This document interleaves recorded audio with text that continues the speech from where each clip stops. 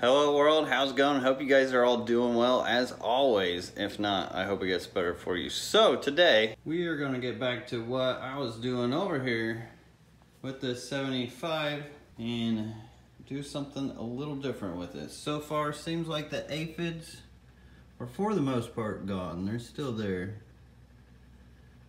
And if you guys haven't seen that video, it is the video that was right next to this. So if you're up in the uploads, you can go right to the video that's next to this and you can find what I'm talking about. This was all just covered full of plants. We had to trim it down, try to get rid of these aphids, but I wanna go ahead and do something else with this tank, which I'm about to show you guys now. And a quick recap on this aquarium. It's a 75 gallon, it's a no filter, it's got discus in it. It's got lots of tetras. Some of these tetras have been community breeding. There's bristlenose plecos. There's corycats in here. They're hard to see. Um, lots of broken down leaf debris. So this is a supernatural aquarium just from all of the plants that have uh, broken down throughout time. Look at that humongous root ball on this thing. I know it's hard to see with the glare. There's a killifish in here as well. There's a bunch of catfish in here too. Oh, you can see them barely behind there. The glare is just terrible in here. And that's what I want to fix is I can't really see in this aquarium. I've got to get a flashlight to do so. But I do want to be able to see in here. I know the catfish love it dark like that. I know the bristlenose love it dark like that. Tetras sure don't mind. But I mind, and I would like to see in here, but I want to be able to keep my top coverage here. So to do that, and as many of you did request in the comments down below of the last video, I will go ahead and make a video on this because well, I am planning on pretty much taking a lot of that back. Hey catfish.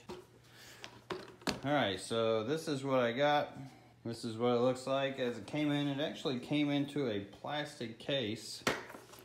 But this should be cool. And it's got a remote. Yeah, this is an underwater light, LED light.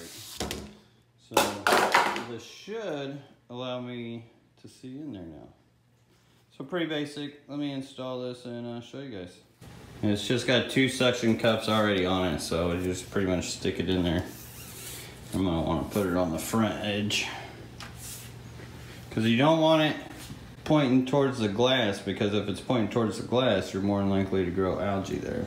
As far as the casing on this, it's just plastic tubing. Not sure why they blacked it out on the back, but rubber end caps, tight fitted, glued on. Pretty basic. LED strip, just encapsulated. All right, at first I pushed the button. Felt real weird, like it kind of like crunched down. But it's working now. It seems to be really dim. You see there's different colors.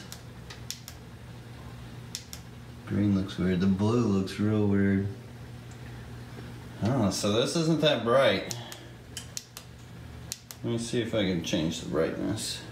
Now I do have this remote, so so there's the white. It still isn't much light.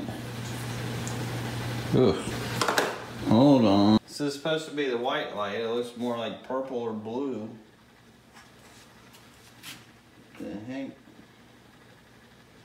I'm just wasting my time at this point. Okay, so that's a major fail. Does look cool shining off some of the tetras and stuff, but that does absolutely nothing. And that's full power up too. So 9 out of 10, would not recommend. I will have to uh, try again. But essentially what I was trying to do is find a light. I don't know if you guys know of a good light. But find a light that would be able to shine down.